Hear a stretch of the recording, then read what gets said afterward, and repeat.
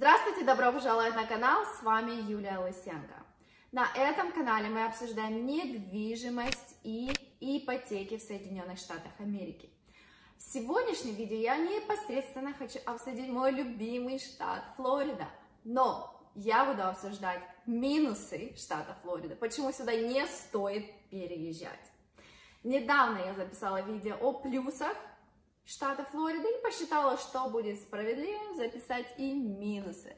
Потому что, скорее всего, не существует такого штата, который идеален и никаких нету минусов. Но если, конечно, такое есть, оставьте в комментариях, мне интересно его посетить, я еще такого не видела. Я считаю, что для многих это видео будет полезно, особенно для тех, кто собирается переехать в штат Флорида и решает, подходит этот штат или нет. Я живу в этом штате почти 15 лет, была практически во всех штатах Соединенных Штатах Америки, и мне Флорида подходит. Но в нем есть минусы. Итак, первый минус, который я ставлю на первом месте, это насекомые. У нас тут есть разные насекомые. Есть насекомые, которые кусаются, а есть насекомые, которые ползают и просто пугают людей. Они, конечно, есть не везде, но в основном в штате Флориды есть много комаров и мошек. Есть даже определенные сезоны, где появляются определенные мошки, а комары живут круглый год. Поэтому, если вы ездите по а, subdivisions, по маленьким городкам, которые находятся рядом с озерами, с болотами, вы увидите, что в основном каждый дом имеет такую сзади сетку. Это сетка для того, чтобы люди могли выйти на улицу, в огород, в их бэк-ярд, обычно там бассейны, и могли спокойно посидеть, чтобы их комары постоянно не кусали. А, всегда, наверное, я даже не знаю такого местечка в Флориде, где нету ящериц. Они везде но они совершенно безобидны, и я думаю, что к ним можно привыкнуть. Я сейчас вижу ящериц, они мимо пробегают, ящерицы и ящерицы, они не кусаются, никому не мешают. Единственный плюс в этом минусе, это то, что если вы находитесь рядом с пляжем, или живете рядом с пляжем, или планируете быть рядом а, с океаном, там, где соленая вода, там, где бриз, там у вас не будет никаких насекомых блаженство. Ни мух, ни комаров, ничего. Потому что соленый воздух, видимо, отгоняет всех насекомых. Но ящерицы будут везде. Так что к этому готовьтесь, но к этому я считаю, что можно легко привыкнуть. Аллигаторы. Это второй минус. Или многие их называют крокодилы. Сразу скажу, что это не крокодилы. Крокодилов можно встретить только в зоопарке в штате Флорида. Это аллигаторы, которые тут живут. Они тут, да, как бы местные жители, но они живут только в определенных местах. Не думайте, что вы приедете в город и тут будут ходить аллигаторы. Но я живу в городе Санкт-Петербург, штат Флорида. Я тут никогда не видела аллигатора. Но, конечно, если я еду в парк какой-то за город, там, где озера, если я гуляю по этому парку и рядом озеро, я смотрю в оба.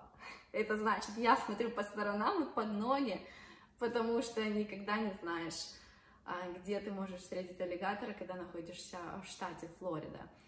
А, есть такие subdivisions, опять же, на окраине города, а, которые имеют озера, и да, жители говорят, у нас там живет аллигатор, но он никому не мешает, они к нему привыкли, даже некоторые придумывают имена этому аллигатору и живут как-то спокойно.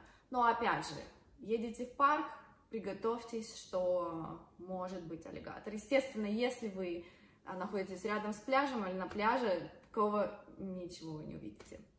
Но, раз мы заговорили о пляже, третий минус это акулы. Они есть. Скорее всего, это понятное дело, что они есть, так как у нас тут океаны, море, если вы любите глубоко заплывать, то как бы вы берете на себя небольшой риск, то, что вы можете встретить акулу, но на самом деле это, на мой взгляд, большая редкость встретить акулу.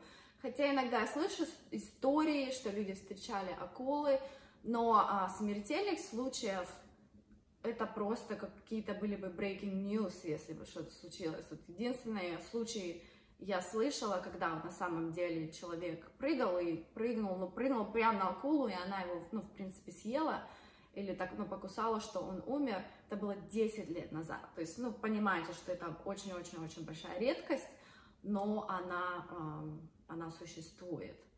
Поэтому, если вы идете на пляж, как бы имейте в виду, что вы можете встретить акулу. А следующий минус а, в штате Флорида это штормы, hurricanes, как мы их называем. Наверное, для вас не секрет, что если идет шторм с Карибских островов, то, скорее всего, он или напугает штат Флорида, или придет в штат Флорида. Поэтому у нас даже есть такой сезон. Он начинается наверное, с июня, заканчивается в сентябре, в конце сентября, когда у нас а, сезон штормов. И а, есть шанс, что хотя бы один город в штате Флорида за один сезон пострадает. На это есть, естественно, страховки разные, страховки на наводнение, home owners insurance, но, как бы, да, бывают такие моменты, которые очень а, некомфортабельный в том плане, что вы сидите, смотрите новости и ждете каждые пять минут, проверяете, куда этот шторм направился и куда он идет, с какой скоростью, какой шанс, что он придет в ваш город.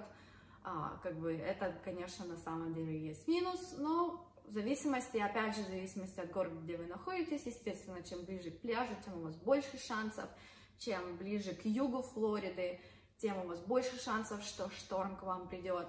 Но опять же, на это есть а, предупреждение. Вы будете знать за несколько дней, что к вам идет а, шторм. Вы можете всегда эвакуироваться, у вас есть страховка, даже если что-то случится. Как бы а, тут минус, но а, его можно предусмотреть. И последний минус, который бы я отнесла а, к штату Флорида, это погода. Знаете, когда я записывала видео о плюсах, я тоже сказала погода, потому что погода имеет и плюсы, и минусы. Да, у нас отличная, солнечная, теплая погода круглый год. Не надо ни снег гребсти, ни одеваться в куртки, в пальто. У нас всегда тепло. Это как бы, да, огромный плюс. Но у нас есть сезон жары. Он начинается в июне и заканчивается в сентябре. То есть вот эти месяца очень жарко. Не просто жарко, а еще и влажно. То есть когда вы выходите на улицу, вы пройдете 5 минут, а, вы уже, у вас одежда уже будет такая влажно-мокрая.